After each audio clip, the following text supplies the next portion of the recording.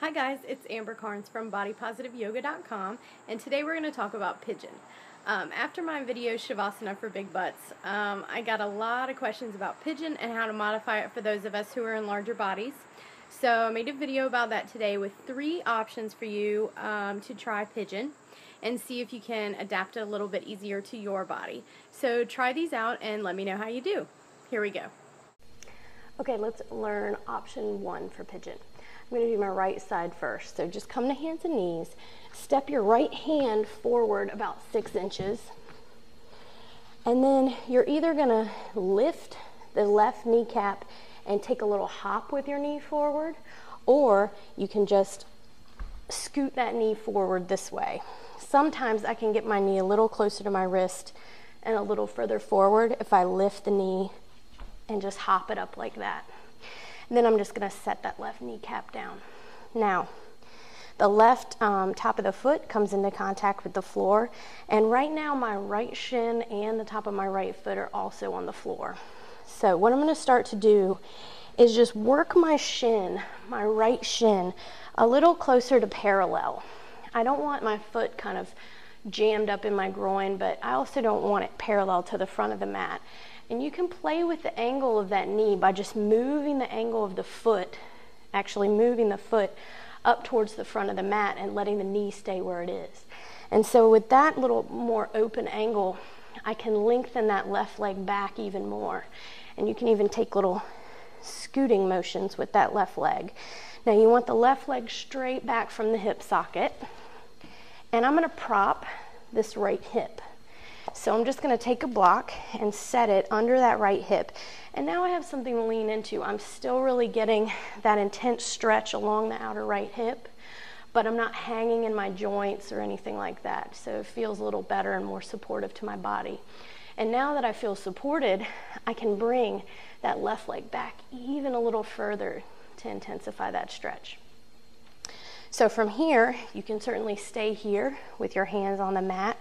If you if that doesn't feel good, you need to come up some. You can be up even higher on your fingertips or bring a block in front of you and use that as kind of a ballast to really hold yourself up. If you want to make the stretch a little more intense and come closer to the floor, you can bring a block and bring your forearms to the block and rest here. You can play with the height of the block for a more intense stretch. Or if it's accessible, you can put your forearms on the floor or walk your hands out. And if you if you get there and you want to relax into it for a few minutes to facilitate the opening of the hip, you can rest your head on a block as well. Now to come out of this, all I do is roll to the left side a little bit so I can remove that block. And then I just sit on that right hip and swing my left leg around. And then you can switch and do the other side. That's option number one. Okay, next option for pigeon is chair and a bolster. Uh, all you want to do is just take a sturdy chair and place it on your mat so it doesn't go anywhere or place it up against a wall so it doesn't go flying when you hit it. Um, and then place your bolster about six to eight inches behind that. And all I'm going to do is come to my knees, reach forward, to just brace yourself on the chair, and then bring that front leg um, over the bolster and assume the pigeon position here. And then all I'm going to do is just roll to one side and bring that other leg behind me and bring my hands to the chair. Now, all my weight is on the bolster, and my weight of my pelvis is on the bolster instead of on my knee. You can see my knee's not actually even touching the mat. So, if you have problems with your knee and the other one, this could work for you. So, adjust to make sure that you're really centered over. Um, your hips are centered over the mat and you're not leaning to one side or the other and then just place your hands on the chair. Now you can stay here, or if you want, you can lengthen out and bring your head down to the chair, or stack your fists and just rest your forehead on your hands. And I'm still getting a really good stretch here even though my knee is not in contact with the mat. If you're not feeling a stretch, you can always bring your knee out to sort of parallel with the side of your mat and work on getting your foot so the angle of your front leg again is parallel to the front of the mat. That's option two. Okay, if you can't be on your hands and knees or if any pressure on your knee um, is giving you problems, we have option three, which is dead pigeon.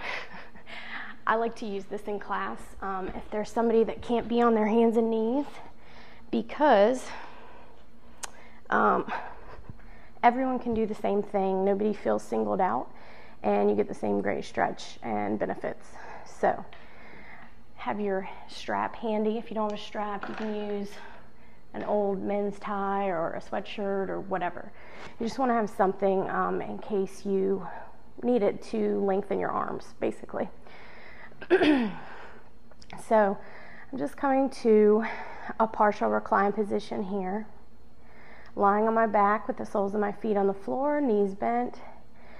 You can um, make sure that your back is really in contact with the floor. And you can just lift up and rotate your pelvis so you scoop the tailbone down toward the heels and really relax and stretch out the lower back. And then I'm just going to take my right foot and bring my ankle past my knee so my leg is sort of making a four here. Okay. And flex the foot just to protect that ankle joint. You don't want the ankle right on the leg. You want the ankle past the leg so you're not putting any pressure on that joint. And then all I'm going to do is work from here. You can keep your foot on the floor and work at pressing that knee away from you, and that's going to bring stretch to that outer hip. You can come up on the toes of that foot and again press the knee away from you gently. See if that brings you any stretch. If you don't feel anything, it's time to pick up the foot.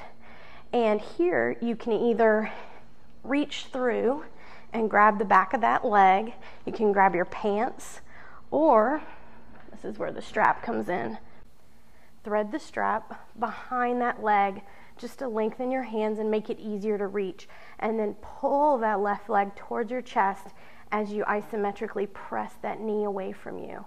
And the closer you pull and the more gently yet firmly you press that knee, you're going to get the opening in that outer hip, just like pigeon if we were on hands and knees. And then just set it down, unwind the strap, bring the foot back down, and then you can do the other side. That's option three. Thanks for checking out the video. I hope those worked for you. If you have any comments, just leave them below and let me know how those worked for you or if you had a chance to try them. And if you have any other ideas about how to adapt pigeon for those of us who are in larger bodies, just leave those in the comments and I'll share them out with everybody as well. Uh, please don't forget to visit me at bodypositiveyoga.com and search Body Positive Yoga on Facebook. See you guys next time.